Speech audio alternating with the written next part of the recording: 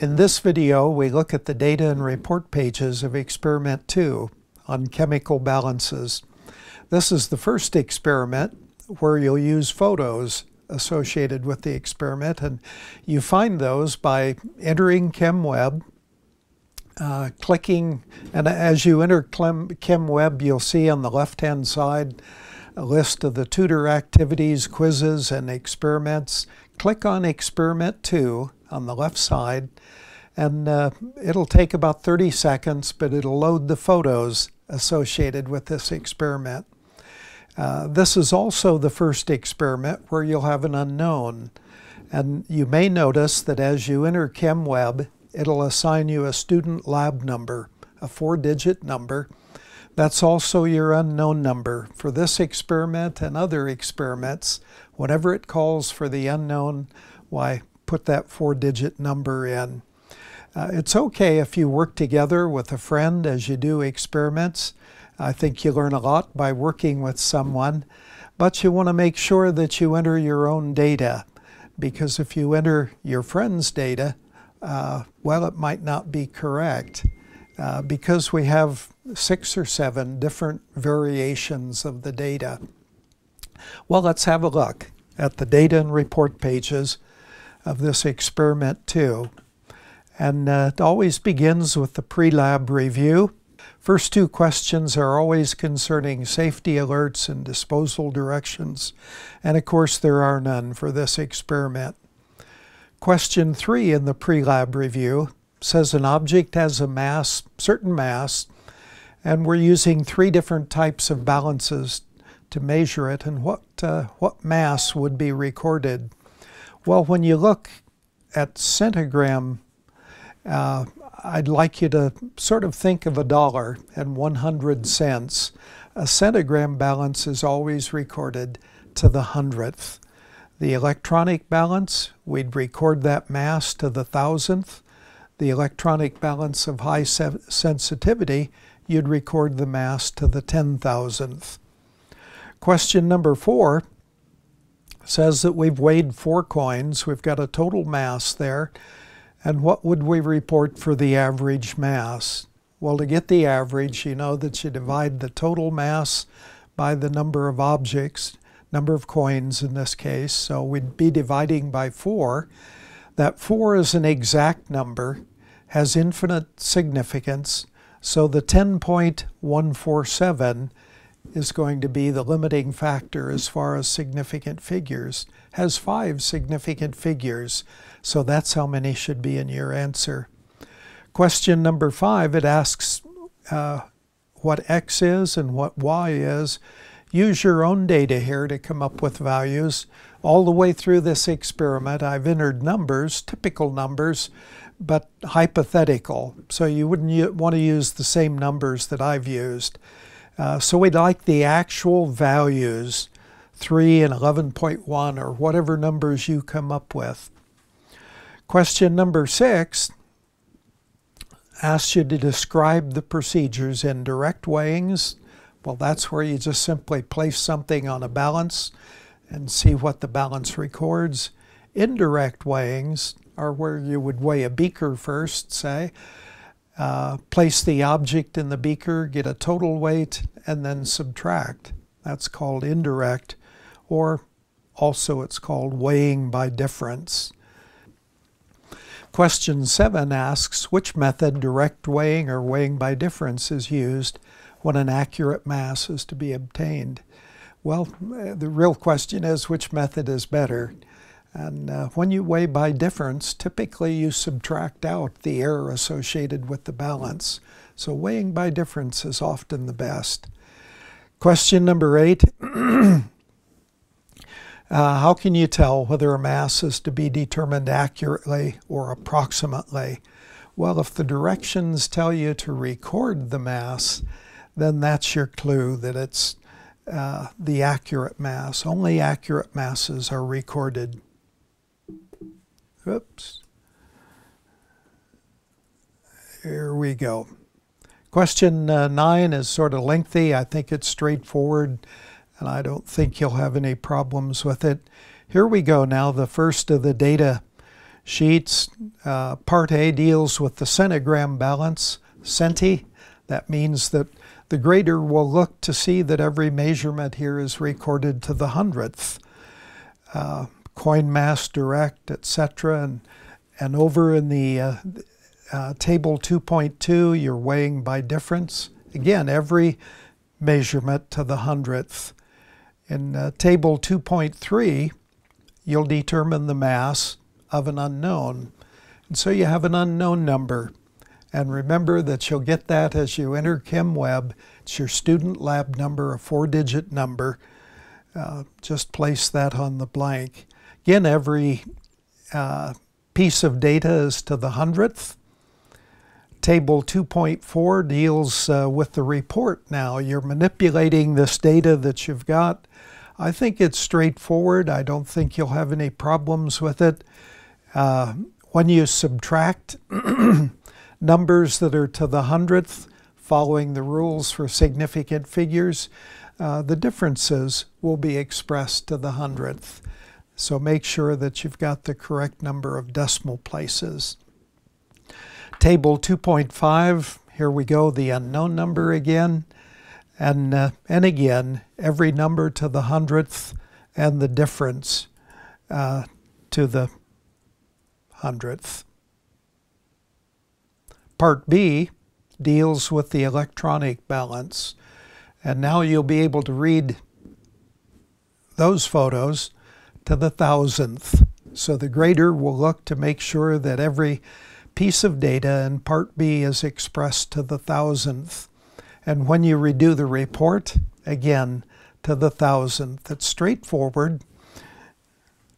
And uh, when you subtract to get differences, uh, again, to the thousandth. Part C deals with the average mass of a coin. And we're weighing groups of coins uh, one, two, three, four, and five coins. Uh, below, I've recorded some hypothetical numbers. You'll have different numbers, don't use these.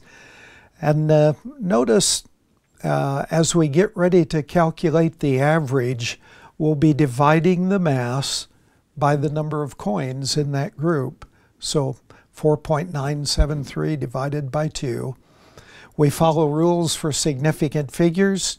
Uh, the number of coins are exact numbers. They have infinite significance.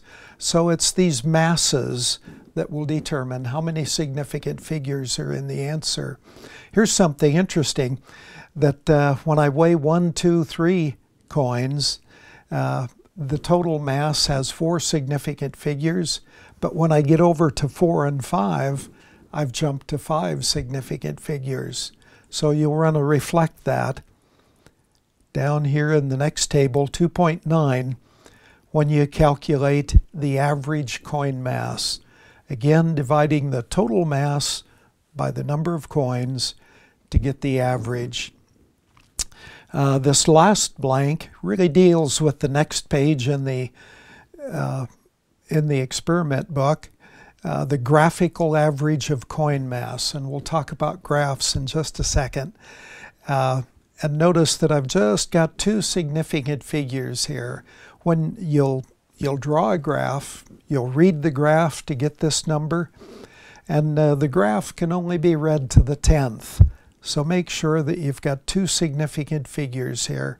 If you use four three or four significant figures, we know that you really didn't use the graph, but you were just calculating a mathematical average.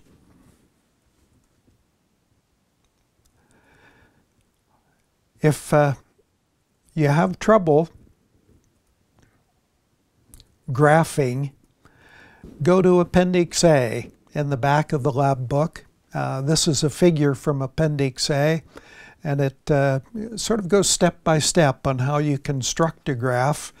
Uh, typically, this axis down here, the horizontal axis, is called the x-axis, and the, and the vertical axis is called the y. Uh, we have two pieces of data. If, the, if, if this, uh, these values down here were coins, maybe I'd go up from one coin with a hypothetical line.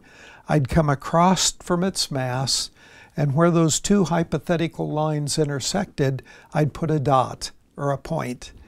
Uh, and then we'd, we'd uh, graph other points in the same way to come up, well, if I had five coins, I'd have five dots, five points on the graph, and then we'd draw a straight line that best fits those five or six points.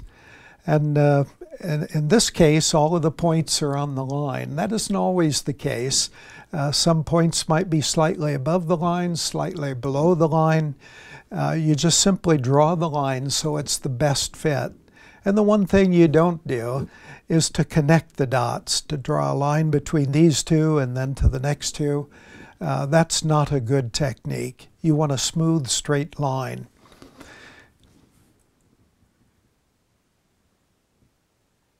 Once you've constructed the graph, uh, you'd like to read the graph and uh, to get the slope from the graph. So if, if the, uh, the vertical axis is the mass and the horizontal axis is the number of coins, if I select two points on this line and, and come out with hypothetical lines and then measure this x, the y distance and the x distance, I can get the slope of this line. Let's look at the graph that you may have. We'll talk about that a little more. The slope you may have memorized is equal to the rise over the run, or in this case it would be the grams over the number of coins. And so if we calculate this distance and divide it by this distance, we'll have the slope of the graph. And the slope is what you would record on that data blank. It would give you the graphical average coin mass. Hey, here's part D. Weighing solid chemicals. And uh, notice that in, in 2.10, uh, you're using a centigram balance. So we'd want to make sure that these two measurements were to the hundredth uh, table 2.11, we're using the electronic balance, so you'd want to make sure that we've got weights recorded to the thousandth. And then follow through with that as you go to the report page. Numbers to the hundredth, values to the thousandth. And you're done, except now for the post-lab questions. Number one shows you a portion of a centigram balance. Remember centigram, that's the key word. Uh, if I expressed a number to less than the hundredth, well, we wouldn't have enough significant figures. And if I expressed a value more than a hundredth, the manufacturer tells us that that number is no good. We can't rely on it. So we'd want to look for values that were expressed to the hundredth. So B and D, you decide between those two, which is correct. Number two, an object was weighed by difference, and we get two different values. We use two different scales, we get two different values. Which mass would we assume to be more correct? Well, if I had two students and I ask, uh, what are the chances of rain tomorrow? And one student said, I think the chances are 20%. And the other student said, I think the chances are 30%. Which student is more correct? I have no idea. Uh, number three. Number three, we uh, weighed something uh, directly on an, an electronic balance, got a certain value, then weighed by difference and then we're asked questions about these two results. Well, this is one of those questions where you want to get your pencil going, see what the difference between those two numbers really is, and then you'll be in a better position to answer the question. Uh, number four, uh, two one cent coins were weighed. We got an average mass. Uh, how could we uh, use an electronic balance of intermediate sensitivity to obtain an average mass per coin that contained the same number of significant figures using this high sensitivity balance. Uh, the key to question four is to look back at pre-lab question four, and that'll give you a big hint. Number five, uh, we're comparing average coin masses.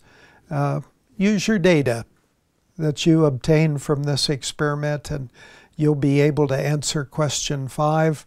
Number six, we're uh, weighing by difference. And uh, we want a solid that weighs 0.50 grams. The container weighs 0.7 gra 0.71. We're really asking what's the total weight. Hey, I hope you have fun with this experiment. If you have any questions, why give me a call or email. And uh, just, just uh, like I say, have fun.